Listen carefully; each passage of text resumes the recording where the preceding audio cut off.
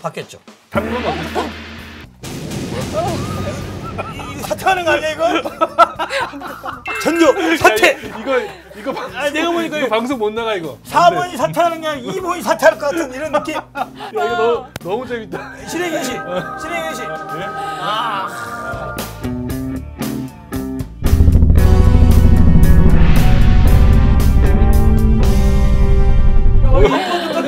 어, 1번도 떨어졌어.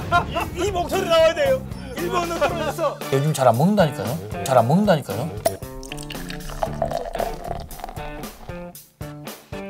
단점을 굳이 키 작습니다.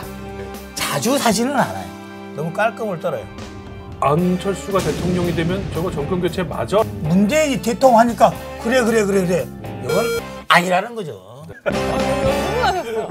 흥분하시면 안 돼요. 와, 와.